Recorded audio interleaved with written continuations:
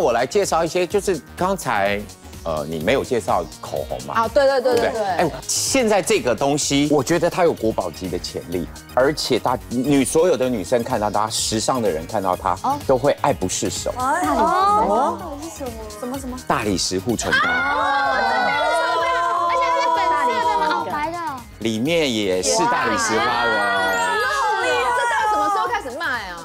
这个哪里买的，老师？呃开始了，开始了，开始了吗开始了。哪里买？这是韩国买的。这个是百货，百货专柜。它有呃不一样的颜色，护唇膏有不一样的颜色。对，它的护唇膏有为什么？它有一点点粉润色，它是护唇膏，但是它有颜色有润色的效果，老师，那个要卸妆吗？要吧？它有颜色就要卸。还是要了，就好像你上隔离素颜霜也是要卸妆。睡前擦吧？不行。你干嘛事前？睡前要睡前要擦护唇膏啊。可是不用擦有颜色。对了不要擦有颜色的，除非你是刚认识的男朋友。刚认识的男朋友就是带妆水。对，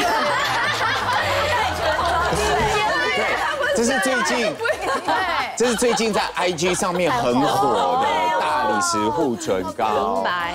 对，然后呢，它同系列也出了一个唇蜜，实地专买。它的这个唇蜜也很漂亮。